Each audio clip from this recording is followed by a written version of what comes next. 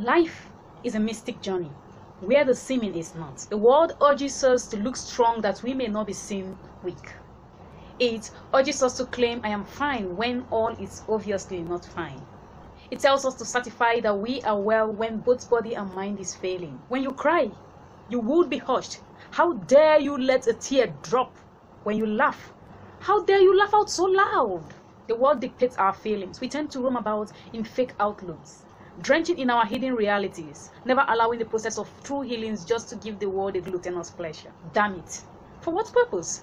If there was no need to pour out here, why was the tear gland fashioned into our creation? If there was no need to laugh out so loud, why does the cheek always comply? Many are broken into rough particles, but clothe their shells to hide their cracks, just to give the world constant orgasm, forgetting our broken realities make us fall.